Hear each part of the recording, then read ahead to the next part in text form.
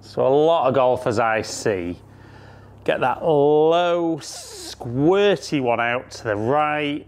And even though I've had great club head speed and ball speed there, 203 yards carry and 227 yards total is not that impressive. Now, straight away, I want you to comment below, is that a regular tee shot that you see, but you would much rather see something more along these lines? So a higher flight, more ball speed, potentially a different shape, and suddenly a massive carry at 254 and 283 yards total. So hopefully you've commented below that yes, you need that and that's why you're watching this video. So let's understand first of all what caused the first one and more importantly what caused the second one. So there was a little bit more club head speed but that'll all tie into what we're going to change. So the first one, had the ball forward in my stance, had the club right behind the ball, but into impact, the club was travelling down, taking a bit of loft off, and not really making me as efficient as I could. But the second one, we had the club travelling up to impact, launching the ball higher and making me more efficient as well as swinging the club a little bit faster. So I know what you're saying. We all know that hitting up is good, as opposed to hitting downward driver if on a maximised distance. But for a lot of golfers, when they try and hit up on the golf ball, that bad one becomes even worse with the ball curving over to the right and not going even as far but being way offline, poor strike despite good club head speed. So I know what you might be thinking. You might be thinking, wow, Ali's explaining exactly what goes on with me with driver. So let's talk about, first of all, how we're gonna make it a bit easier for you to get the club traveling up, which is by getting the low point further behind the golf ball. And the first way we're gonna do it is we're actually going to change the way we actually get the club behind the golf ball.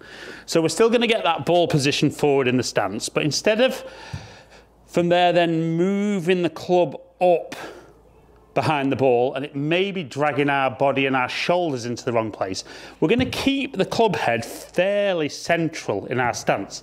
So probably a good couple of club head widths back behind the golf ball. And we're going to feel like that as we swing, we're going to let the sternum stay pretty much in line with that as we shift into that left side. And you can see the spine tilt that creates is going to get the ball uh, sorry, the club traveling up, catching the ball on the way up, low point of the swing behind the ball. Now, as good as that is, and I'll do that on this one, and I'll show you how the club travels up, but this isn't the be all and end all with this. So from there, we see that one curving over to the right. We see the low point 5.4 inches behind. Club's travelled up three degrees. It was a little bit longer, but still pretty poor for that speed. So what we need to appreciate is the reason a lot of golfers hit down is as the club's traveling down towards the golf ball, you can see it's traveling more from the inside. Still might be out to in, but as the club travels up, you can see it's really starting to go out to in. So the danger is when we set up with our feet with the traditional train tracks, club on the outside track, feet on the inside track. The problem is as you're doing that and you're trying to hit up, the path of the club is becoming much more out to in. And then if you leave that club face at the target, the ball sets off at target and slices. So what we want to do is rather than stand with everything nice and square as we drop the club back, we're actually going to close the stance off. So actually move the trail, uh, trail foot back and lead foot forward.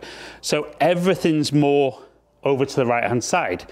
So as you now swing more from the inside, reach a low point, clubs traveling more neutral on the way back to the ball, and that's going to help the path and the face be much closer together.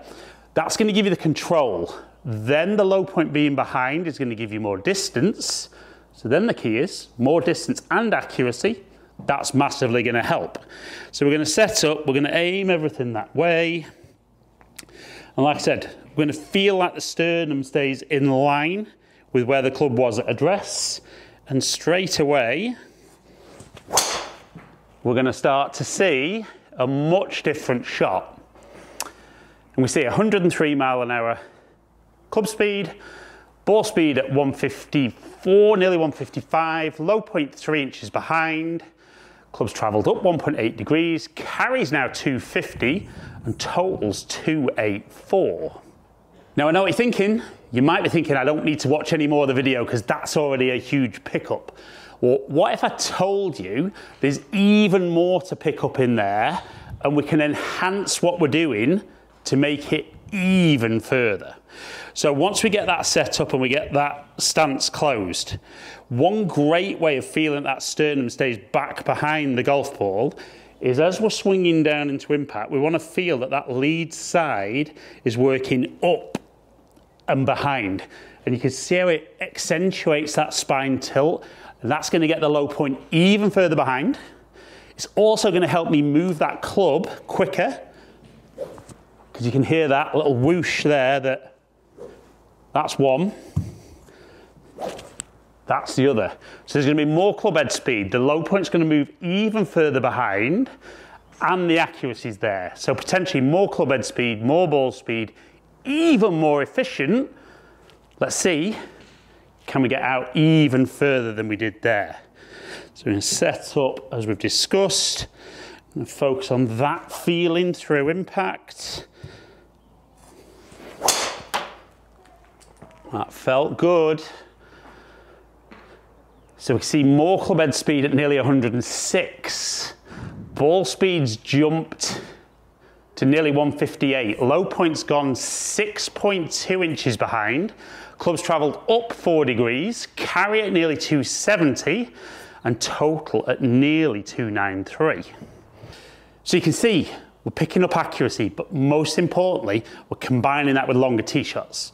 So I've got one ball left, and if you're working through the video with me, which hopefully you are, we're going to see if we can get even more out of that. So more club head speed, more ball speed, maybe even a little further behind, and let's see if we can get carry over 270 and total over 300.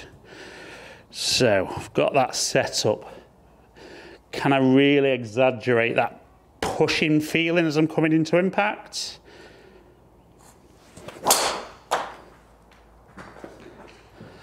So we can definitely see there a little bit more club head speed at 107. Ball speed jumping up over 159. Low point five and a half inches behind. Attack angle 3.6. Carry at 273 and total at 296. So it was a failure on did I manage to get to 300 yards, but compare that to that very first shot that went nowhere near the fairway, but also no distance at all, to over 272 carry, nearly 300 total. I'm not promising you're to make that big a change, but we'll definitely get you hitting it longer and straighter by adjusting the setup and changing that feel to make you faster and more efficient, and ultimately get you hitting the longest drives you've ever hit on a regular basis.